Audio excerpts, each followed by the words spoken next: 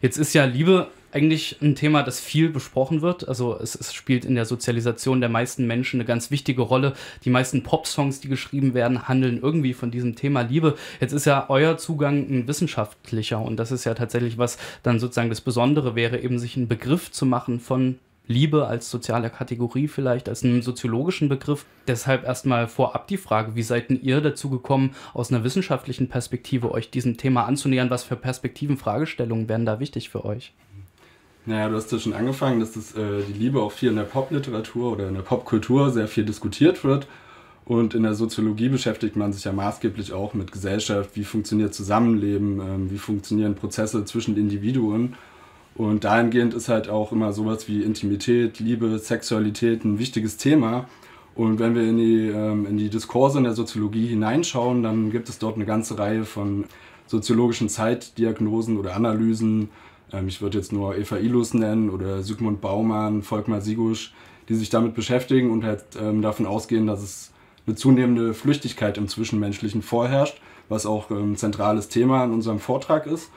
Und dahingehend ist es halt spannend, wie ähm, so zwischenmenschliche Verhältnisse, Liebe, Sexualität oder auch Freundschaft immer weiter von ökonomischen Strukturen beherrscht werden.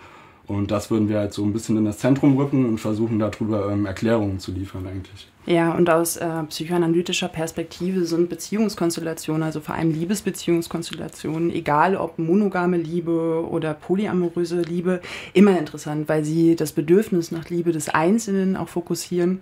Und ähm, die Psychoanalyse bleibt ja nicht selbst dabei stehen, das Bedürfnis auf den Einzelnen äh, zuzurichten, sondern eben auch eine widersprüchliche Vermittlung von Kultur bzw. von Gesellschaft und äh, Triebstruktur des Einzelnen herauszustellen. Und in dem Sinne würde auch eine Veränderung der Gesellschaftsstruktur, wenn wir davon ausgehen, dass wir jetzt eine äh, neoliberale Veränderung der Gesellschaftsstruktur vor Augen haben, eben auch eine Veränderung der Trieborganisation des Einzelnen bedeuten, was dann ja für uns schlichtweg die Frage sich stellt, was machen denn diese scheinbar liberalisierten Beziehungsverhältnisse wie der Polyamorie mit uns als liebende Subjekte?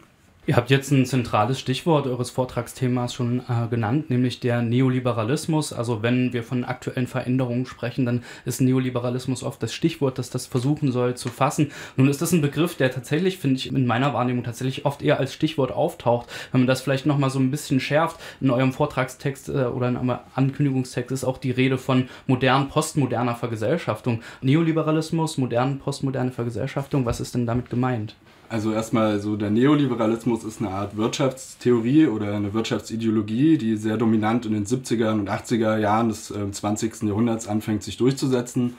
Es ist eine Art ähm, Reflexion auf die 50er, 60er Jahre, wo man noch sehr stark ähm, kenianistische Vorstellungen hatte und auch in der Sozialdemokratie, wo das noch stärker verank verankert war, dass man die Vorstellung hatte, okay, der Staat greift ein in den Wirtschaftsprozess, er sichert sowas wie soziale Garantien auch ab und der Neoliberalismus als ähm, wichtigster Vertreter vielleicht ähm, Friedrich August von Hayek zu nennen, der halt eher davon ausgeht, okay, man kann Gesellschaft nicht ähm, als Ganzes begreifen, man kann es nicht erfassen und halt immer wieder in seinen ähm, Werken darauf hinausstellt, ähm, man muss halt vom Individuum, von Einzelnen ausgehen. Und dahingehend ist ähm, im Neoliberalismus halt so eine Art Vorstellung, die Individuen sind auf sich selbst zurückgeworfen. Sie müssen selber damit klarkommen, wie sie in der Gesellschaft funktionieren wollen, wie sie leben wollen. Und ähm, man kann halt sogar sagen, dass halt diese neoliberalistische Doktrin bis tief auch in die Sozialdemokratie hineinreicht, wo wir dann sehen, dass die SPD mit Rot-Grün maßgeblich die Agenda 2010 zum Beispiel durchgesetzt hat, wo der Sozialstaat ähm, maßgeblich zurückgebaut worden ist. Und postmoderne oder moderne Gesellschaft, oder sagen wir moderne, postmoderne Gesellschaft, damit meine ich ähm, einfach nur, dass ähm, moderne Gesellschaften funktionieren über Individualisierung. Ähm, es ist das Herauslösen des Individuums aus vormodernen Verhältnissen, aus der Familienbande. Und postmoderne Gesellschaften funktionieren halt nochmal, gehen nochmal einen Schritt darüber hinaus, dass sie halt, ähm, mit Volkmar Sigusch kann man sagen, die Familie wird halt immer kleinteiliger. Wenn wir in der vormodernen Gesellschaft Großfamilien hatten, wo viele Leute in einem Haus zusammengelebt haben, mehrere Generationen, dann ist in der modernen Gesellschaft, ähm, wird es auf die bürgerliche Kleinfamilie abgestellt und mit Volkmar Sigusch kann man sagen, in der postmodernen Gesellschaft wird diese, diese Kleinfamilie, äh, Mutter, Vater, Kind, noch weiter ähm, reduziert auf das einzelne Individuum, halt eben im Sinne des Neoliberalismus. dass letztlich der Einzelne seine eigene Familie ist. Im Neoliberalismus sind die Individuen auf sich selbst zurückgeworfen und auch in Beziehungen äh, ist zunehmend eine Verflüchtigung festzustellen, äh, vielleicht eine Art von Bindungslosigkeit. Das sind Stichworte, die ihr jetzt schon angesprochen hattet und ihr habt es auch angedeutet, dass für euch ja zwei Zugänge da zentral sind. Einmal so eine soziologische Sichtweise, die halt gesellschaftliche Strukturen in Blick nimmt und auf der anderen Seite die Psychoanalyse, die halt so Subjektstrukturen, Subjektivierung sich anschaut. Äh, wenn man diese beiden Ansätze dann nochmal gucken, dann tauchen in eurem Ankündigungstext ja auch zwei Aspekte ähm, auf, die dem vielleicht so ein bisschen entsprechen, diesen beiden Herangehensweisen. Und da ist zunächst eben der Blick auf die Familienstrukturen, die du auch schon angesprochen hattest. Du hattest jetzt sozusagen so die vormoderne Familie angesprochen, die ja irgendwie für sich selber ein ökonomischer Zusammenhang gewesen ist, ähm, die sich mit der Moderne auflöst. Trotzdem kann man ja sagen, in den 50er Jahren, so mit dem Fordismus und so, da etabliert sich dann ganz allgemein auch in den Arbeiterschichten so ein kleinbürgerliches Familienmodell mit Haus, mit Kühlschrank und Auto, das äh, Ernährermodell. Also der Mann ist derjenige, der sozusagen sozusagen das Geld einbringt für die Familie. Die Frau ist äh, abhängig und äh, vor allen Dingen im Haushalt beschäftigt. Jetzt da vielleicht auch nochmal die Veränderung in den Blick zu nehmen. Ähm, was passiert denn im Neoliberalismus mit dieser Kleinfamilie? Ich denke, da muss man tatsächlich nochmal äh, ein Stück zurückgehen. Und wenn man das mit dem Historiker Ilya Saretsky, der wirklich eine sehr, sehr interessante Geschichte der Psychoanalyse geschrieben hat, dann kann man sagen, dass die Entstehung der Psychoanalyse mit dem Zusammenbruch eines viktorianischen Familienmodells zusammenfällt. Dieses viktorianische Familienmodell war vorher stark identitätsbildend in dem Sinne, dass die Produktion vor allem in Hof und Haus, also familiär strukturiert war und dadurch vor allem auch diese starren geschlechtsspezifischen Rollenzuweisungen ähm, ja, fixierte. Also Identität war schlichtweg ein naja, vorbestimmtes. Und ähm, ich denke, mit der Verlagerung der Produktion von Hof und Haus in die Fabrik oder ins Büro, das heißt zu Zeiten der zweiten Revolution, da ist ja auch gerade die Psychoanalyse in ihrem Entstehen begriffen, wird die Identität des Individuums zunächst erst einmal fraglich und damit gleichzeitig einmal zu einem Problem, aber auch zu einem Projekt. Und der bürgerlichen Familie, die zuvor halt als so eine Identitätsstifterin vielleicht fungierte, kommt nun in der bürgerlichen Kleinfamilie eine Doppelfunktion zu, wenn man das äh, so sehen will. Einerseits fungiert die Familie als so eine psychische Agentur der Gesellschaft, äh, wie das Fromm auch formuliert, indem sie halt so sozioökonomische Bedingungen, aber auch kulturelle Normen an die nächste Generation weitergibt, ähm, was vor allem in der Psychoanalyse auch die ja, Internalisierung der kulturellen Norm im Über-Ich, wenn man das so verkürzt darstellen will, bedeutet. Und gleichzeitig bildet die bürgerliche Familie, so zumindest auch äh, ein Argument Adornos, äh, eine Art Schutzraum vor der ja, bürgerlichen Konkurrenzgesellschaft, vor den Härten der bürgerlichen Konkurrenzgesellschaft. Und viele Psychoanalytiker beobachten dann, in der Zeit, vor allem in den 50ern, eine Schwächung äh, der väterlichen Autorität. Also das fällt häufig unter den Begriff der vaterlosen Gesellschaft. Man darf sich das aber nicht so vorstellen, dass damit sämtliche Autoritäten wegfallen, sondern die Autorität sehr viel diffuser erscheint, weil sie nun bei die Vermittlung von Kultur und Individuum nun äh, sehr viel unmittelbarer funktioniert.